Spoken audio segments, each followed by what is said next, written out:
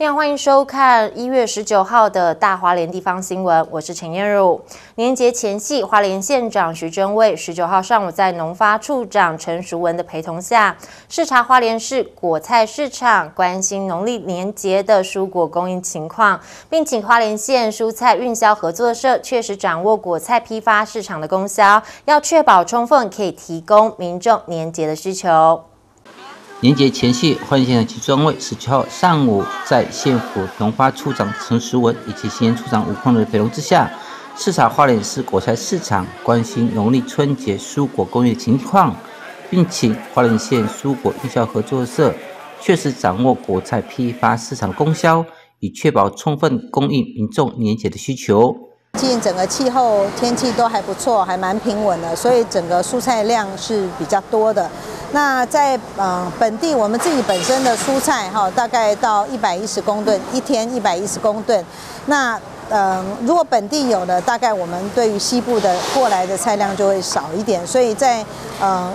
呃果菜批发市场里面，他们做了一个很好的这个蔬菜的调节。啊，如果花莲没有种的品相，大部分就从西部来调节进来，也让这个整个新春期间，让它整个蔬菜呃的这个量都能够有充足。那我们的水果哈也也都有。那所以平均来说，我们一天的蔬菜加这个水果的部分，大概到三百七十五公吨一天的交易量。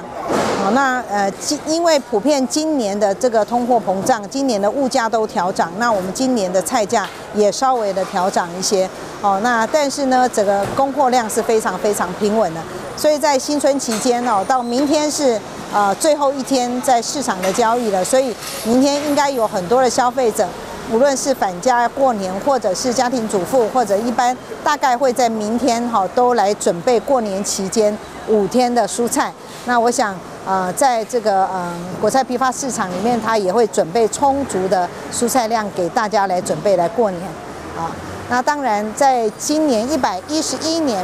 花莲县我们的蔬果市场的这个全年的交易量已经到了三千呃三亿一千零四十四万，这是破历年来最高的哦。那这个也对于我们整个果菜批发市场里面。除了我们的这个硬体设施设备的改善，我们灯光、油漆，还有我们招牌。那另外，对于我们对于食品安全的部分，那果菜批发市场和县政府以及我们农委会也都合作，让我们在最快速的方式来这个检验我们果菜的农药这个农药的存量，所以都是非常非常的安全。所以，请我们所有消费者还有来到花莲的乡亲都可以安心使用、安心采购。至于食安把关的问题，菜市场表示，有鉴于春节蔬果需求量大增，为了保障消费者饮食的安全，花莲县蔬果营销合作社已经加强执行农药残留的检验，通过生化法快筛以及办法抽验各产销生鲜蔬果，春节前检验件数从每个月三千多件，预估增加到七千多件以上，严格把关以确保乡亲过年期间吃得安心、吃得健康。接着讲，话说不到。